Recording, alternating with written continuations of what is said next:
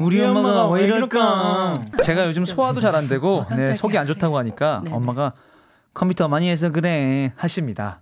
컴퓨터랑 위랑 무슨 상관 있을까요?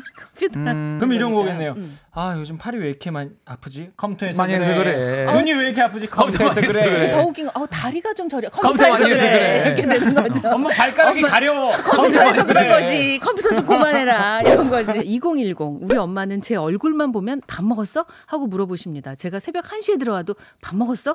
그러십니다. 먹어도 벌써 먹었을 시간인데 말이죠. 아, 어머니들은 다 네. 그러시죠. 근데 이 마음은 뭔지 알 것 같아요. 음. 그러니까 왜 우리가 밥을 먹었을 때는 그 말이 귀찮은데 밥을 안 먹었다고 생각을 해봐요. 맞아요, 맞아요. 이 말이 얼마나 고마워요. 맞아요. 너무 밥 먹고 싶잖아요. 맞습니다. 진짜 배고파서 집에 들어가면 눈물 나잖아요. 음, 그럴 때 생각해 보면 엄마 마음은 그런 거죠. 그렇죠. 그리고 한 마디 걸고 싶으실 때 이제 음. 제일 편한 말이 밥 먹었어 일 수도 있으니까. 그렇죠, 그렇죠. 네. 어, 작가님이 얘기하시네요. 네. 그러고 살 빼라고 한다. 밥 먹었어? 먹었으면 살 빼. 우리 엄마 왜 이럴까? 7056 엘리베이터 같은 데서 만나는 아기들한테 늘 어디 가냐고 물어보십니다. 어, 맞아요. 음. 엄마 그냥 아기 엄마한테 물어보세요. 음. 애 엄마한테 아, 이- 물어보기 미안하니까. 아니 이거 제가 똑같이 할 수 있어요. 어, 한번 응. 애기한테 말 걸어보세요. 응, 응. 어디가? 아 저는 어디 가요? 하고 엄마가 대답하시죠.